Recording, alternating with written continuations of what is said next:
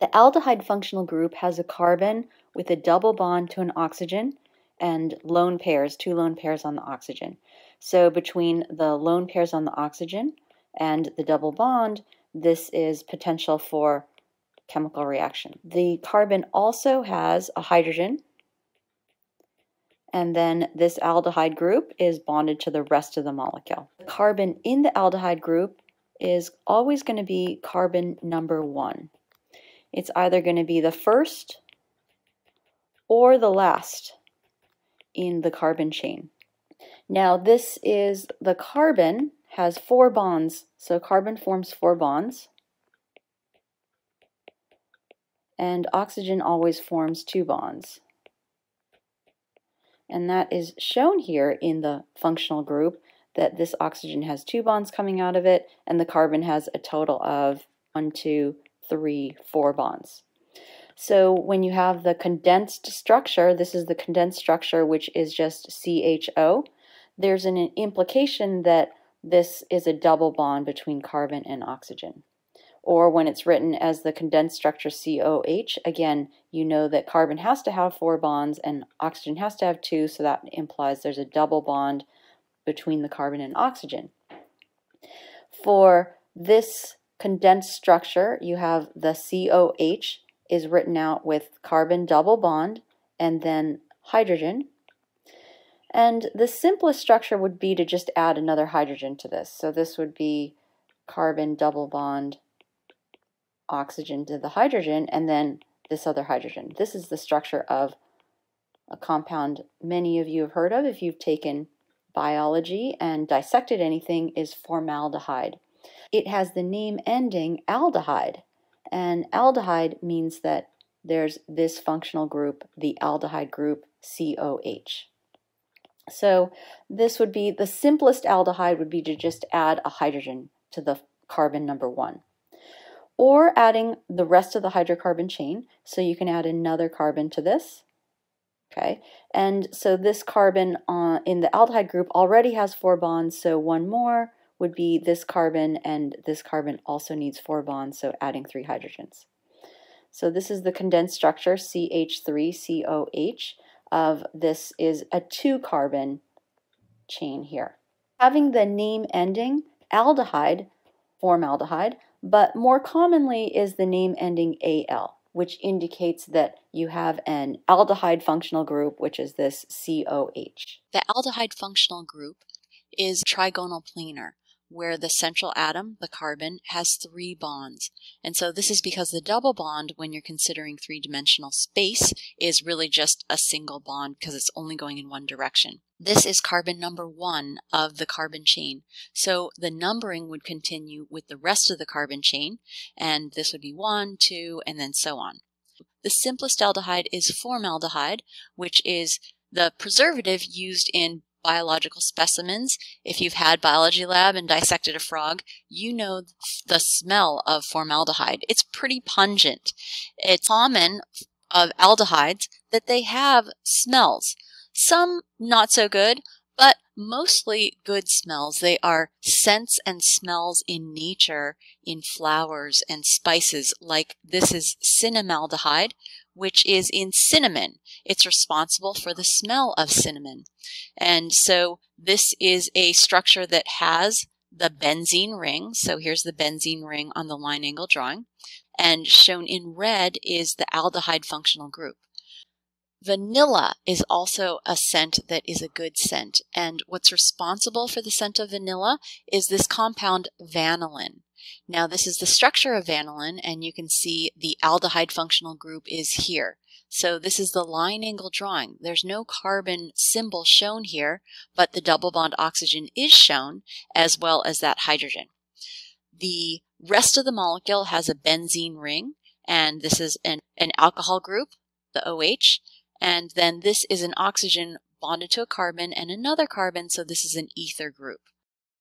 The ketone functional group has a carbon with the double bond oxygen and then lone pairs on that oxygen. So it is the same carbon double bond oxygen that you saw in the aldehyde group, but what's different is that this carbon does not have to be at one end of the molecule. This can be somewhere in the middle of the molecule. or in the middle of your carbon chain. It's never going to be carbon number one. At the lowest possible, it would be carbon number two. It doesn't have to be smack dab in the middle, just like the ether. As long as there's a carbon on either side or the rest of the molecule on either side, this is going to be a ketone. So this is the carbon double bond oxygen that has potential for reaction. So these are reaction sites. This is the condensed formula, which just shows CO. So this is the carbon. When it's written as CO in the condensed structure, it means that you have a double bond to the oxygen, and then there's the rest of the molecule. So the minimum rest of this molecule would be a carbon on either side, not a hydrogen on either side. If it were a hydrogen on this one side, then that would be an aldehyde. So have to have a carbon on either side, and those carbons also need to be filled with four bonds, so that would fill out with hydrogens. This carbon in the functional group here doesn't have to have anything added to it because this carbon has the four bonds with the double bond and then the carbon on either side. Ketone group, the CO, is also called a carbonyl group. Ketone functional group is in an organic molecule.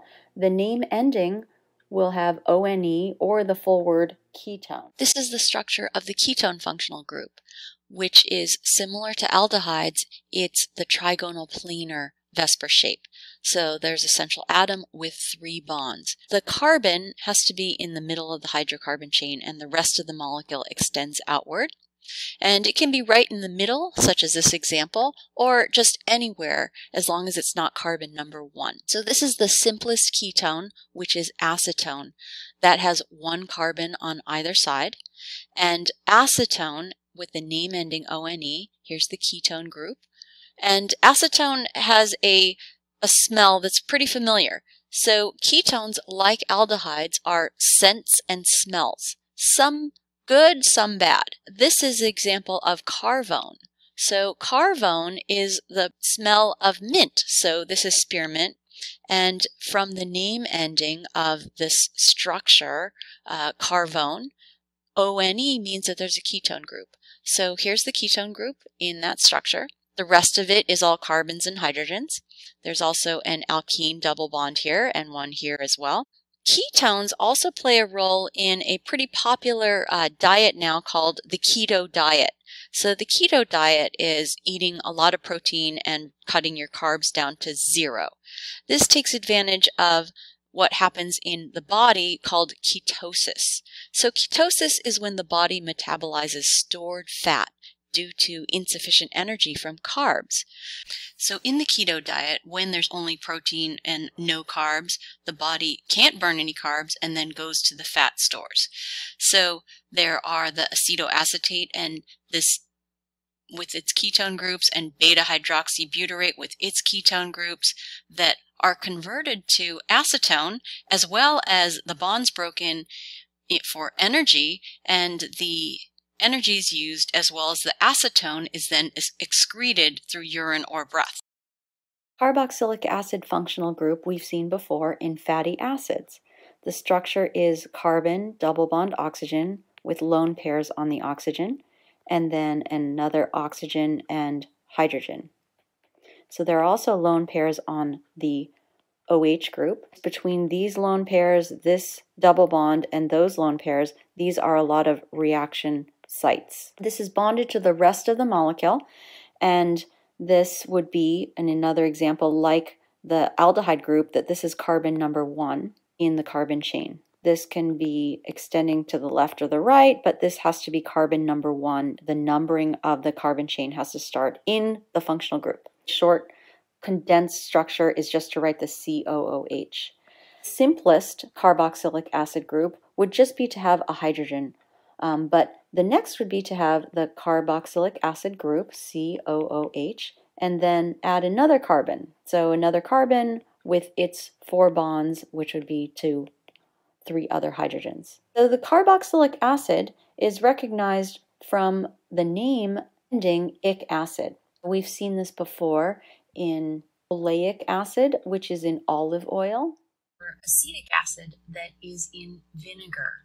So the name ending ic acid means that the carboxylic acid functional group is there. Here's the structure of the carboxylic acid functional group. We can see that this is the trigonal planar VSEPR shape. The carbon has three bonds attached to it.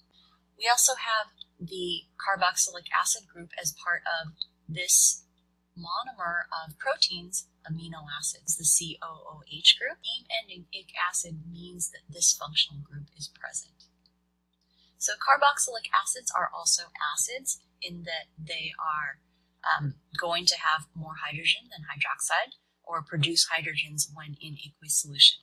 So these are all in general, these vinegars contain acetic acid, and that acetic acid is a weak acid. The ester functional group has a carbon with a double bond oxygen and lone pairs on the oxygen, and then another oxygen which is a single bond and lone pairs on that oxygen.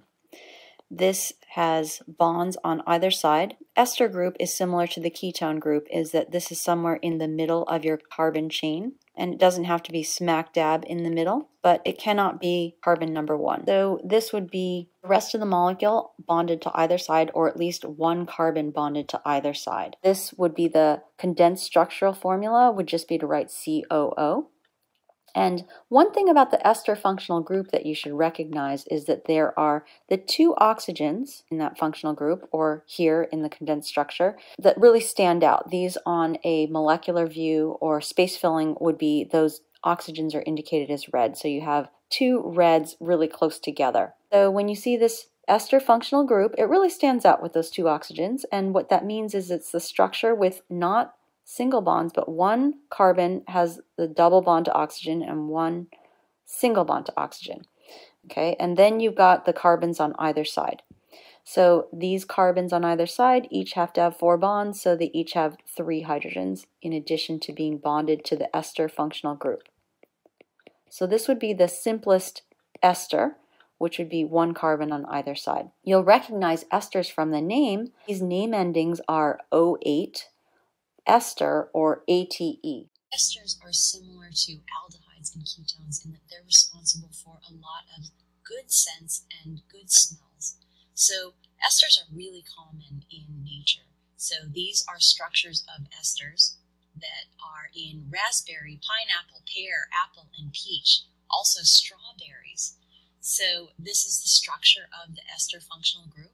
You can see that it's the trigonal planar arrangement with three bonds on the central carbon. Ester group is, remember, easy to recognize. You've got two oxygens close together. And this ester functional group we can see also in the line angle drawing. So this is two oxygens close together, one double bond oxygen, one single bond oxygen. Another thing to notice about all of these esters is the name ending is OATE. So methylbutanoate, what's responsible for the smell of apples, is an ester. Or pentylpropanoate, the responsible for the smell of peach. This is from this ester functional group. You can see in all of these structures that the remainder of the group is hydrocarbons. So that's just the rest of the line angle drawing. The zigzag part are just carbons and hydrogens. Another ester that is part of the name is polyester. So here's a tag on this fabric, 100% polyester because of the name ending ester, it means that there must be this ester functional group as part of the molecules that make up polyester.